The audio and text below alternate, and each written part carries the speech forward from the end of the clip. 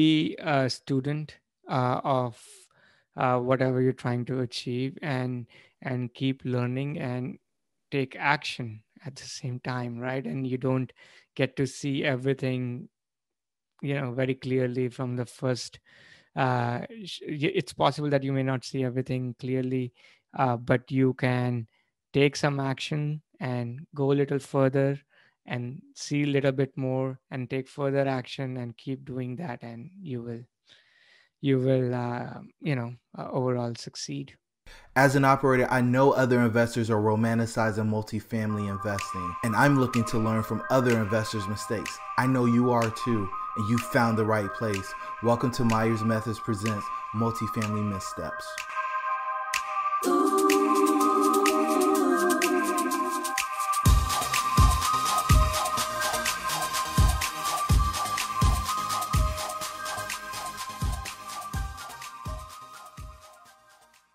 Hey, everybody, and welcome to Myers Methods Presents Multifamily Missteps. I'm your host, Jerome, and you guys are an extremely special treat today. I've got my friend from New York who invests in North Carolina, Pancham Gupta. Pancham, how are things in the great state of New York? Things are great here. Weather is warming up, so I can't complain. It's it's amazing actually out there uh, right now. Great time to be here. But I love your part of the world even more because I'm traveling there tomorrow. So come on down. Everybody wants to be in the Carolinas. So, in case you guys don't know, he's got a great podcast. It's called The Gold Collar Investor. But you know, before we dive into the missteps, man, tell the listeners how they can get in contact with you. Absolutely. So, like you said, I have a podcast, The Gold Collar Investor. Uh, my email is p at thegoldcollarinvestor.com. I also uh, they can reach out me there or LinkedIn or Facebook, and I also provide uh, six top six reasons to diversify outside of Wall Street investments. If you're they're interested, they can get it on my website at thegoldcollarinvestor.com forward slash download. Ooh, full six reasons why you should invest outside of Wall Street, ladies and gentlemen. You got to get that. I don't have it yet. I'm going to get it right now.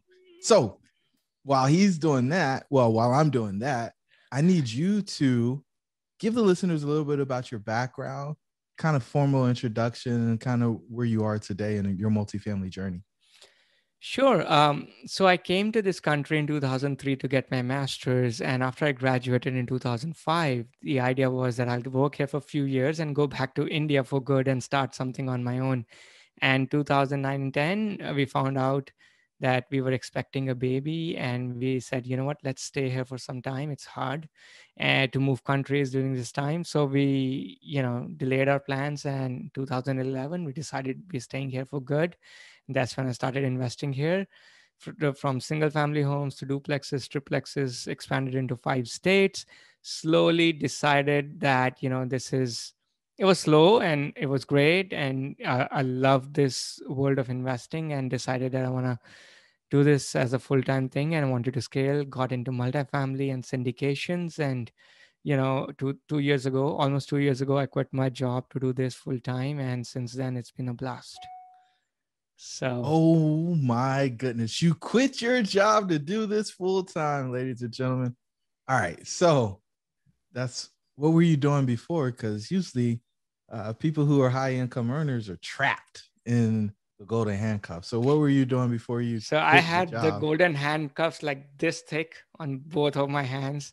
They were so bad, like it, it, was hard because I was making a really good salary in New York City. I was uh, in fintech industry, uh, you know, in derivatives and finance here in New York, and uh, computer science background and finance, um, you know, as a minor.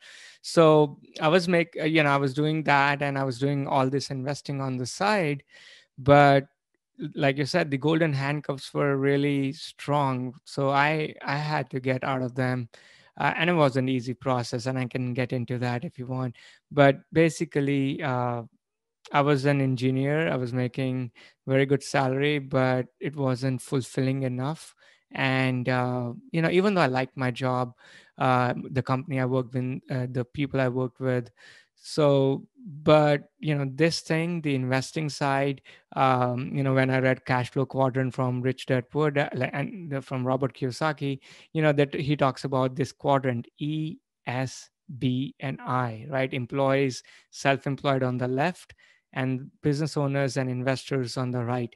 So, you know, 90% of the wealth in the world is controlled by people on the right and at 10% on the left but people on the left work 90% of like 90% of their uh, times you know they, they spend on this stuff. So i decided i want to move to the right and investing was uh, the thing to go and i also love this stuff uh, investing in um, you know uh, real estate so much that i was spending way too much time on this stuff anyway.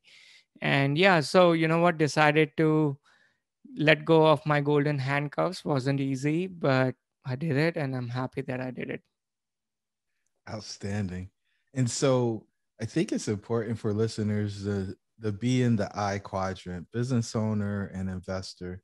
And i think a lot of people confuse what an investor is versus a business owner. A lot of times when you're active in real estate, people say, I, am a real estate investor, but you're usually a real estate business owner. Do you have any thoughts on the BNI and how the real estate um, investor actually fits into that? Absolutely. Actually, that's a great question. And, you know, I've spent a lot of time on that particular topic myself, actually. So, the business owner, generally, as per Robert Kiyosaki's definition, is really people where uh, you know people who have a companies where their number of employees are more than 500 okay so so that's a definition as per robert kiyosaki but if you really uh, look at real estate investors you know when you're investing passively or even actively let's say you buy a house and you rent it out to tenants and you're getting some cash flow every month you're active in that business meaning that you're uh, yeah your income is passive but whenever there's a problem you are going you're getting you're the one who's getting the phone call and similarly if you're investing passively uh, that is purely passive stuff but when it comes to me like or people like you uh, jerome or me uh, where we have syndic your syndicators in that case there's a line between passive investments and the business so syndication is a business right? But what we do with our money when we invest in our own deals or someone else's deals, that is investing. So there is a difference between uh, syndication, which is a business, and when we actually buy a property and invest our own money, that is the investment. So uh, you can think of our company as a small business owner but what we do with our money is invest right love it that's that's how i would define it perfect now in all of this real estate investing and leaving the job behind and all that everything went exactly as you planned right I wish Jerome that it happened. It's it's a straight line, you know, like just like that. Absolutely. Yeah. yeah. Sequentially, boom, boom, boom, boom, boom. Yeah, exactly. At the time for the exact amount of money you thought, all of the things, right? Exactly. You know, like in in uh, computer science, we have a Jira board. Like it's a software where we put plan scrums and stuff. So we put like all the items that we need to do. So the things exactly hit the timelines. You know, like oh, you want to do this? It was perfect. No, you know, you and I know that that is far from the truth. The things are like it's jig, jig, jig, jig, jig, yeah, it's a big uh, zigzag, zigzag uh, when it comes to you know owning a business or investing uh, and especially in this market cycle. So no it's not been a straight line. It's not even a zigzag. It's been i don't even know like circle this that you know whatever you want to call it. Uh, so it's not a straight line. Got it. So i know you said that pre pre-recording you know find fun fix flip. You didn't have much for flipping. You didn't have much for funding, but you might have something for finding and you might have something for fixing. So I don't know where you want to go first, but I would love to go with finding because I think everybody has some type of war story from finding deals or messing up in the process of getting them to the point where you're under contract.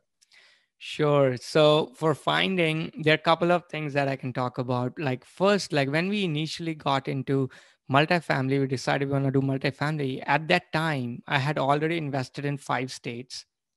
in smaller properties.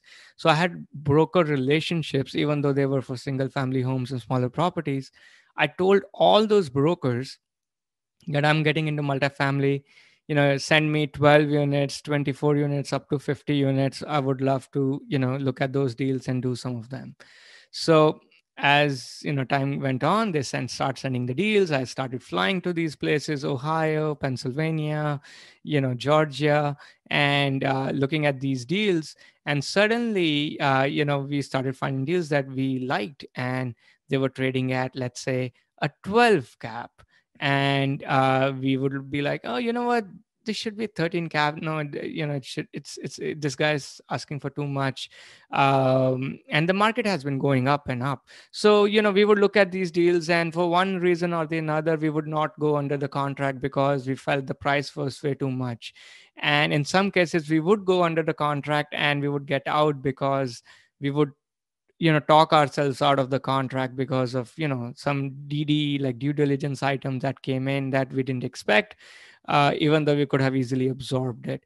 So so what happened was like mindset wise we were under like we looked at a 12 unit that we were so close to get under contract then 24 unit and uh, you know there was a 78 unit deal. There's a good story about that deal. I can talk about that. But so there were many of these deals where we were always you know very close to the finish line but we couldn't really get it uh, to the closing table. And we me and my partner we started discussing like why is this happening right? We are engineers by background and you know believe it or not like we understand analysis paralysis but that is real right? And so we we were you know from mindset wise we we were always behind the market.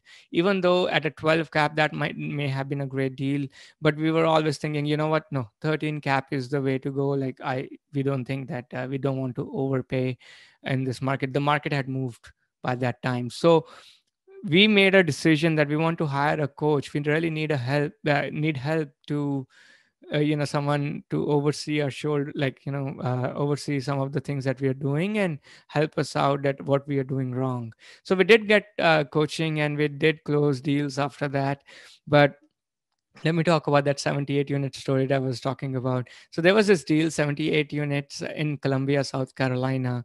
We were uh, we went under contract. There was uh, Columbia Housing Authority actually owned the deal.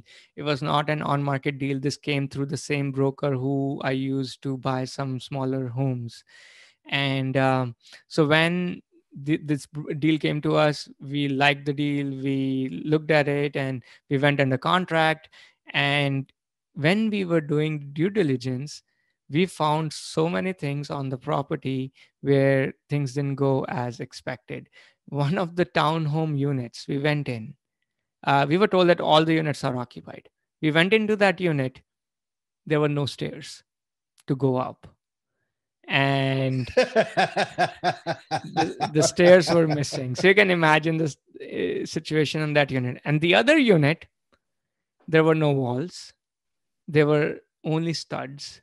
And it was fully gutted and no stairs to go up. And so you know, and there were a bunch of other things that came in. And one of the buildings had a very clear, visible crack near foundation, and it felt like it shifted uh, a little bit, which might have been uh, okay, but we didn't even get to the structural engineer. Uh, so we we felt that you know what this these guys uh, didn't uh, tell us exactly what the condition of the property was when we went in the contract. So we don't know what we'll find. Again, it was our first deal. Uh, we we said no. We lost about fifteen thousand dollars in that deal, but that was the best fifteen thousand that we lost. What was the fifteen on? Was it on the due dil- like the due diligence? We had a full contract. Yeah, so we paid the contractor. We had already engaged the attorney who prepared a contract. We had you know plumbing company coming in to sewer uh, to camera the sewer lines. We had the um, roofing company come in uh, and then uh, there was uh, one more thing. So the all in all we had about $15000 um, total that went um, you know down oh yeah SEC attorney we had engaged that too. Like so so it was like um you know best 15000 we lost but did you lose your due diligence money too or was it just the no the, the earnest money you mean the emd that yeah. we put no no we didn't lose that that that okay. we got that back. No no. We didn't put money hard uh, so early in a game. So no yeah we so that's one deal that i think i would call uh, lessons learned but we were happy that we didn't do it. But for the all the other deals that we left if we would have done every single one of them they would have been great. I'll tell you like there, there was this deal in ohio a school district which was 10 out of 10 amazing location. And the broker himself i think lived there or someone from his family lived there. Uh, excellent excellent location. It was a 12 unit and the next door 12 units were also we could have easily gotten and and maintained by a owner i think who owned it for 30 years.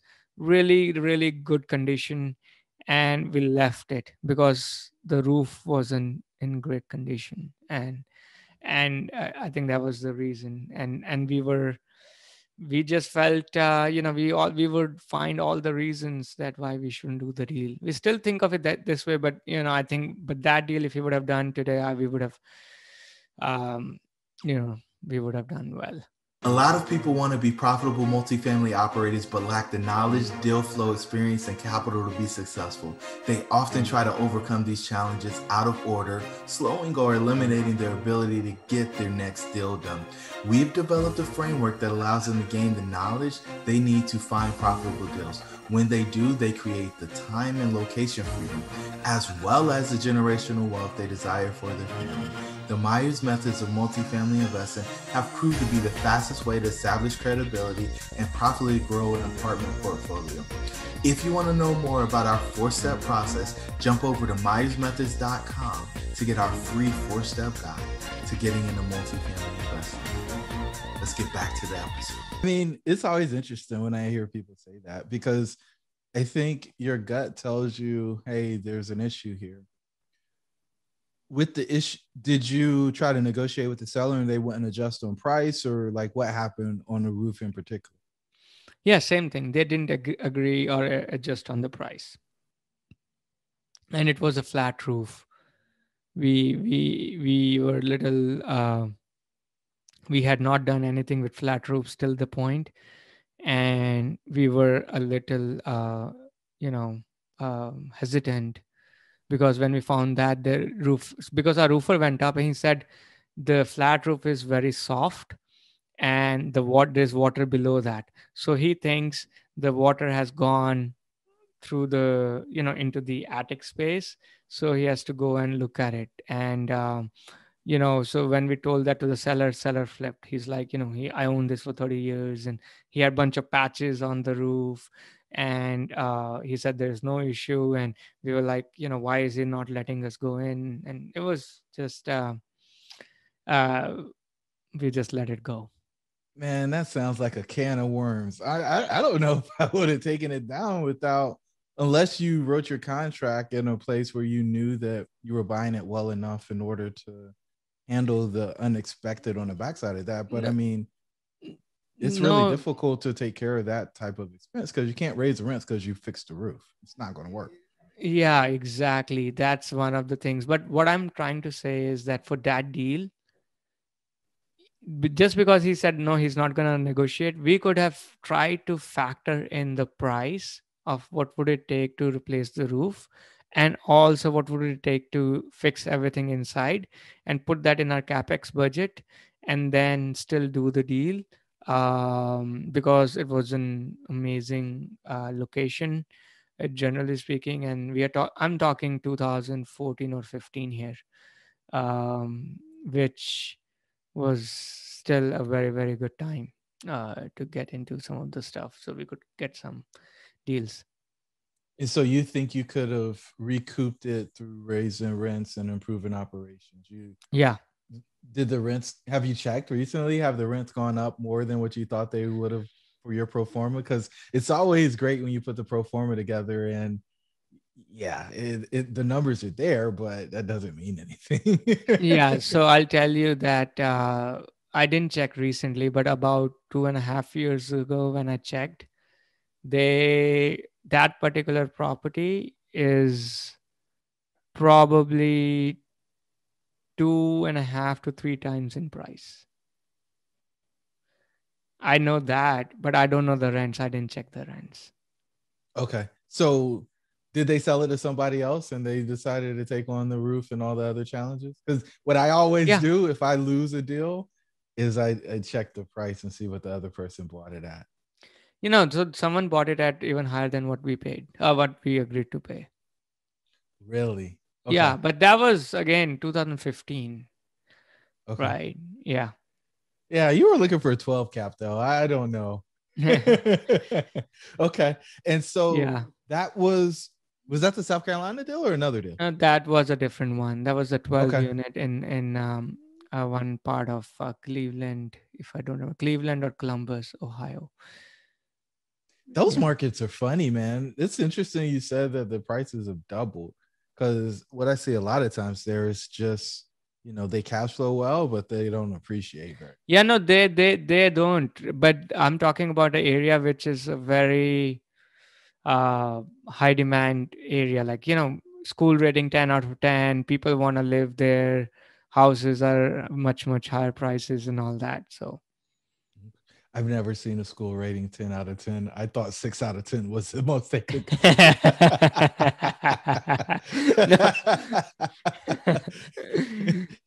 okay. All right. So that was the finding it part. So you relaxed your expectations with coming into the properties, it sounds yeah. like. I wouldn't say we relaxed. Let's say we got in tune with the market. Okay. And so does getting in tune with the market mean you change your offer on the go in or you're willing to pay more or you expect willing to pay more. returns? Willing to pay willing more. to pay more because we are expecting less in return. Okay and so for the folks because you syndicate for the folks who you talk to prior to doing the deals i imagine you're probably telling them 15 or 20 percent uh cash on cash and you come back and you're probably telling them less than 10% now? How did that go over? so yeah exactly. That's a good uh, question. So not on cash and cash. On irr we do we used to do like uh, we used to say like 17 18 19 irr so for last three years we've gone to 15 irr then we went to 14 irr now we are around 13 12 13 like you know 12 13 14 range uh, in terms of IRR. So that's what we have been telling investors. And um, on cash on cash, we used to give out eight pref. We went down to seven pref uh, on the cash on cash returns.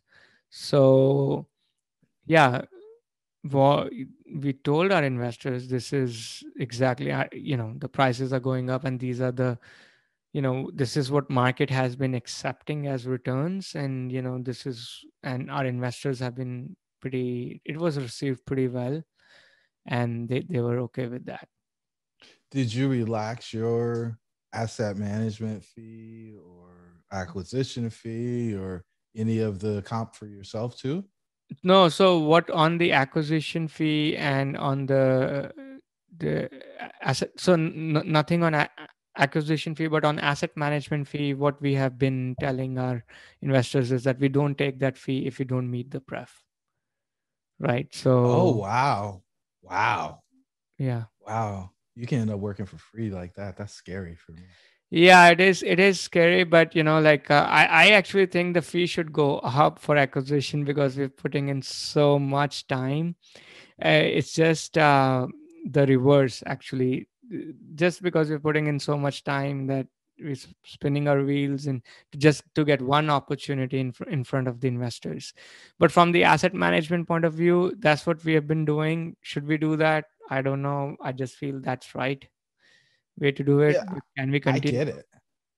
Yeah. i get it. I mean you you want to treat the investors well and i mean early in the career i think you have to do some of that just to get them to stay in the game with you and because nobody enjoys when they have a financial advisor and they get paid whether the market goes up or down, right? Exactly. And that's what happens a ton of time. And I mean, the property managers they get paid no matter what. You know, if if you have enough money to pay your expenses that much that month, good for you. If you don't, I'm still getting paid. And you know, a lot of asset managers and syndicators feel the same way. And I don't know what the right answer is because I think investors and partners should want the people who are spending their time on a thing to get paid so that they continue to pay attention to it because the flip side of that thing is true as well if the person doesn't get paid they're probably at some point going to have to go find a way to earn income and they're Mhm. not going to be paying attention to the asset Yep, exactly. okay and so let's move to a deal that you were operating and it sounds like you you had some learning lessons there that the listeners can take away Always raise more than what you think it's gonna cost. So no, it costs less than what you budgeted, and it always happens faster than you expect, right? exactly. It's always the other way. So we had a deal actually in Charlotte where uh, when going in, we knew there was some structural issue with the deal, one of the buildings. And um, we budgeted about $50,000 to fix that. We got a rough estimate at the time of inspections. And when we actually did it, it cost, we spent 102.5 so it was little over the double the amount Whoa, whoa, that happened to me. what's that it happened Oh, to you? my first deal. Oh yeah, it happened to me on my first deal. I don't know that it was double, but I I totally blew the construction budget. And if I was doing the deal by myself, I would have been bankrupt because we were spending a lot of money in construction. yeah no so we we learned that the hard way. We, luckily we had enough capital raised overall that we were able to you know go through that. But then our other things got cut that we wanted to do. So you know what? But but we we we we came out good and those things were nice to have the ones we cut this was must have so we went with the must have and and did it Without question. That's that's when it gets scary. You start seeing that reserve account go down and Oh. go down, and your income is going down, and your expenses are staying steady or going up depending on what you have going on. And you get the temptation to just bury your operational costs and the capital costs. Yeah. I- all I'll of that tell you stuff. one thing like people don't budget uh, uh, that you know we have learned the hard way so when things are going good ev- like income like you said and the expenses they're all in line right and you're making your uh, meeting your budget but when the income starts going down right actually expenses usually will go up now you're like why? The reason is because you're spending more because there is a reason why the income has gone down whatever the reason is. Covid or you know what you know the units are down or there's some uh, you know unit burned down or whatever it is right? Your income going down is a function of a problem and you have to fix that problem which wasn't there before. So leaving everything else the same to fix that problem you have to spend more. And that's when your expenses go up. So your bottom line gets hurt by from two places the top line and the bottom like the the the, the expense line. Double whammy. Don't tell them that though, right? and the other thing I love to see is when people do their pro forms and they put 98% occupancy and they're doing a rehab project. yeah that that um you know that can only happen if they're doing everything only on turns like i don't know what the, what what you mean by rehab if they're just turning the units and making them really nice from inside if that's what you're talking about then yeah that can still be done but if you're talking about like some major item then no you you have to have the building uh, empty Yeah, there there's always some change. And so when I say rehab, just really upfitting, right? It doesn't have to be massive, but I think it takes a little bit of time to change paint color. Say you've got a building, your trims one color, or your trims your trim and your walls are the same color. That's what I like to walk into. Trim, walls, and ceiling are all painted the same color. I've even seen places where they've painted the appliances with wall paint, right? and so you come in and you know that you've got to repaint the whole thing. You got to do flooring, you got to do lights. Like that takes a little bit of time depending on who's actually handling the construction. And that will probably extend a term where you're just wiping the walls off and moving the next person in after you know it's been swept out. Very different timelines for getting those things available. And then also marketed at that new rate. Sometimes when you go to market and you've increased rent let's call it a hundred bucks the market kind of looks at you like what are you doing? And then eventually they they take it but it takes a little bit of long and a little bit longer in the marketing cycle. So that's what i'm saying. Um oh and you need something to tour right? Because yeah you, you got the unit and you can't walk them through it because it's not going to look like that when you lease it to them. So it, there's the other piece of you got to have it vacant so people can see what the unit's going to look like. Right. Exactly. Uh, okay, man, this has been an outstanding episode. Do you have any more war stories you want to share with the listeners today? No, I think uh, you know I I have a few others, but they're, they're still work in progress. Maybe next time once they're done. I love it. I love it. I love it. And so, I guess, what words of wisdom do you have for the listeners as a wrap up? No, I would say that, you know, be a student uh, of uh, whatever you're trying to achieve and and keep learning and take action at the same time right and you don't get to see everything you know very clearly from the first uh, it's possible that you may not see everything clearly, uh, but you can take some action and go a little further and see a little bit more and take further action and keep doing that and you will you will uh, you know uh, overall succeed in whatever you're trying to do. Man that's outstanding pancham thank you so much for coming on multifamily missteps. And to the listeners the pack is with you. We'll see you the next time. It's a favor Give us a five star rating, give us a review, and share this with somebody who's interested in multifamily investing. Until the next time, the pack is with you.